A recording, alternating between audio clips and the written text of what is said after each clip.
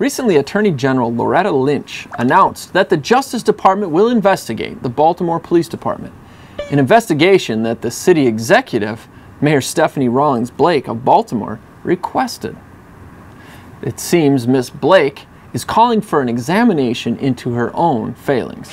Please take note that this investigation is distinguished from a separate civil rights probe, which the Attorney General's office has already begun in relation to the death of Freddie Gray who died while in police custody. Consider the following facts with regard to Baltimore. Black people riot. In process, they destroy black businesses. All of this occurs after a black guy dies in police custody at the hands of three black officers who are a part of a police department which is 43% black and led by a black chief, under a black female mayor with a black female state's attorney in a city ruled by the president's own Democratic Party for over 50 years.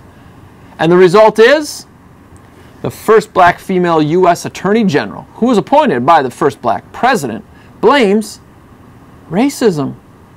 This all coming on the heels of last week's announcement from Obama that he's dispatching federal civil rights officials to retrain cops in every city and jurisdiction around the country to be more culturally sensitive to urban blacks. Already, Fort Worth, Texas, Gary, Indiana, Stockton, California, Birmingham, Alabama, Minneapolis, Minnesota, and Pittsburgh, Pennsylvania have received grants to implement a new Department of Justice program titled the National Initiative for Building Community Trust and Justice.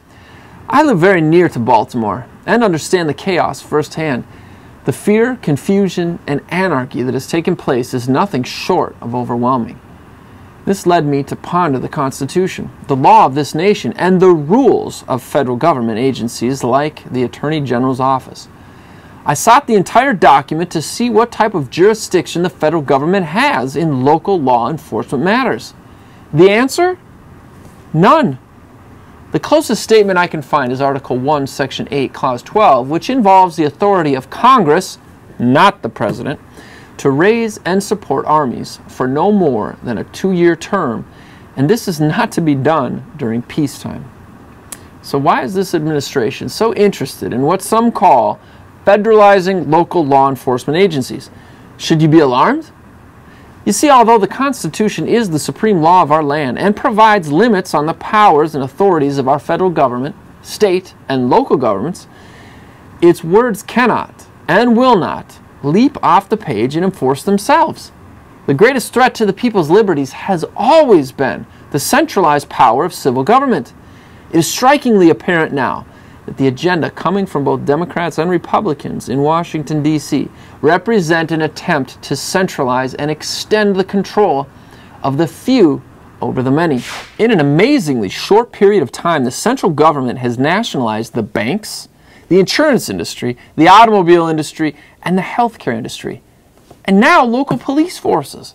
All this is illegal and all the while this has been occurring at unprecedented speed, the president has been insisting that he is not doing exactly what he is doing.